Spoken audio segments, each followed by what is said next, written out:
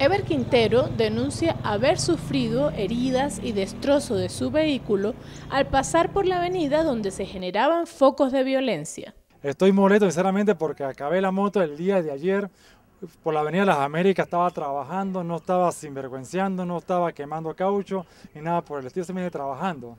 Y eh, cuando llegué al Seguro Social había un alambre que en una parte oscura y no la vi, menos mal que gracias al casco me pude proteger el cuello. De todos modos me, me rajuñó, si no fuera por el casco me llegó el, el cuello. En eso menos se me acercó un grupo de, de jóvenes, muchachos encapuchados, no sé quién, quién diablos era, que, que, que pidiéndome gasolina y quedándome la moto, yo no me, no me dejé, claro, la moto quedó inservible, tuve que llamar a una grúa y trasladarla a un taller mecánico, ¿qué va a hacer con una, con una moto? Pero la moto quedó dañada completamente.